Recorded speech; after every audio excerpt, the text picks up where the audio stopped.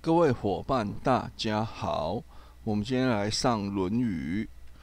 那首先呢，我们的主题是“子游曰：‘事君硕，思路矣；朋友硕，思疏矣。’这个大概的意思是说，与上级共事、跟朋友相处，如有状况的时候，我们到底要怎么劝谏，才不会被讨厌？”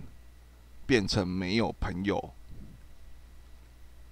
子游，那我们来看一下子游，他这个人呢，他叫颜衍，字子游，春秋吴国人，尊称颜子，小孔子四十五岁，是孔门的十哲之一。啊，孔门有四颗十哲哦。那孔子对他称赞了哈，有一次子游在武城当县令，啊，当城宰。那听到孔子到五城的时候，听到，哦，有音乐出来，孔子就称赞：割鸡焉用牛刀？杀鸡哪里需要用到牛刀呢？再来，在之前的文章中，啊，《论语》哦，他说：“今之孝者，子游问孝。今之孝者，是谓能有，是谓能样。至于犬马，皆能有样，不敬，何以别乎？”今天所谓的孝顺呢，是说可以能够奉养父母，但是呢，他对于狗跟马，他也能够养，他能够给他们食物。那如果这样来看的话，这里面如果没有敬意，有什么区别呢？好，这是子游的画像。好，那孔蒙的四科是哪四科？德性科、言语科、政事科跟文学科，只由政事文学科。好，那子游曰：“事君硕，思路矣；朋友硕，思疏矣。”那我们来看它的字面上的解释。硕，因硕啊，它是动词，意思是频繁的劝谏啊，一而再，再而三，一直劝啊。那路呢是动词，它意思是说招致修路。疏也意思也是动词，它意思是招致疏远。好，事君硕，思路矣。这句话的字义解释是：侍奉君主频繁的劝谏，导致自己修遭受修路了，或自己招致修路了。朋友硕，思疏矣。它的意字义上是说，与朋友交往频繁的劝谏。自己招致的疏离，那问题是，那我们到底要怎么做才不会招致修路跟疏离呢？先进篇《论语》第二十二章跟我们提：子曰：“所谓大臣者，以道事君，不可则止。”哦，所谓大臣啊，就是用道来侍奉君主，君主不认同、不认可的话，就停止劝谏。颜渊曰。颜渊篇《论语》第二十三章，子贡问有，子曰：“忠固而善导之，不可则止，无自入焉。”给你的朋友忠告，但是循循善诱啊，让他能够规劝他。朋友不接受，不愿意，就停止，不要再说了，不要自取其辱了。那结语呢？不可则止，对方不接受、不愿意，就停止。那作为下级，作为朋友，我们当然有义务劝谏啊，因为是我们的朋友，是我们的上级嘛。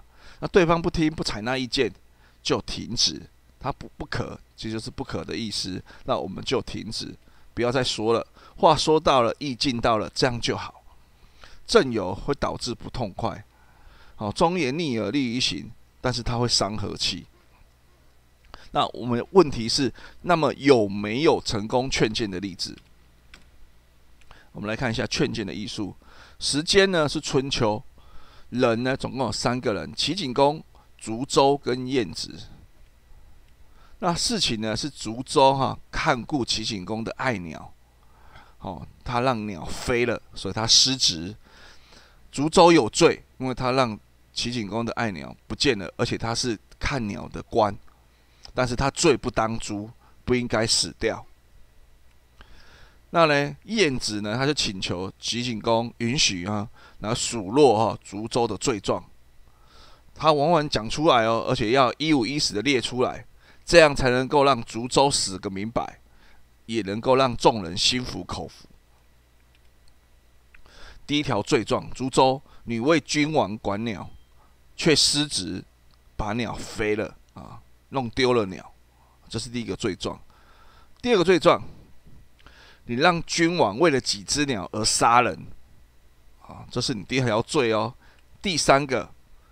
你让其他的诸侯王听到这件事，他会就会责备大王啊，责备齐景公大王啊，重鸟轻人啊，重视鸟而轻视人命啊，这是你三大罪状，所以你一定要死。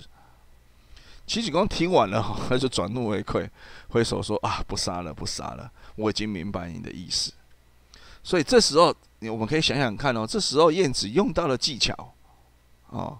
各位可以想一想，好，再第二个例子，时间呢？去清朝啊，我们近代啊，人是宫中亲王，武戏子就是演武戏的戏子，或者是呃演戏的艺人，还有孙菊仙啊，这是三种人。呵，事情是发生在宫中亲王要武戏子哦，就是表演的艺人哦。到台面下、台下啊，戏台下面啊，来表演武打场景，他有重重的赏赐。那问题是，问题是啊，戏台下面都是硬的石头哦，如果用一不小心哦，就会摔伤，然后摔伤腰骨，腰也会受伤啊，骨头也会受伤。呵啊，可是呢，宫中亲王非常坚持，一非常坚持啊，希望他们赶快下来，而且。一直催促，并带人啊，并要求从人啊，赶快去带赏银过来，表演的好，马上就赏啊，就赏。呃，这时候坐在旁边的孙菊仙就说了啊：“你们好好的打，打完了啊，王爷不但会赏你们一锭银子，而且还会赏你们一人啊，每个人一帖膏药。”哦，那亲王啊，一听到膏药，哦，就。一直在笑了，他就知道他的意思了，就不要求了，也就不用下来了。好啊，所以你可以想想想看，这时候呢，孙菊仙用到的技巧是什么？好，那这是我们的资料来源。好，那今天跟大家分享到这边。